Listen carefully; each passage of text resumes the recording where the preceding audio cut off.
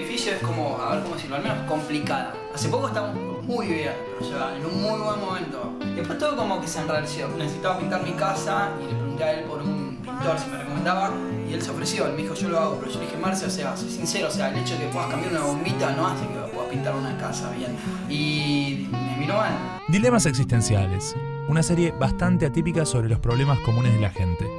Es un portero, no puede ser tan grave, es un portero. Exclusivo por un 3.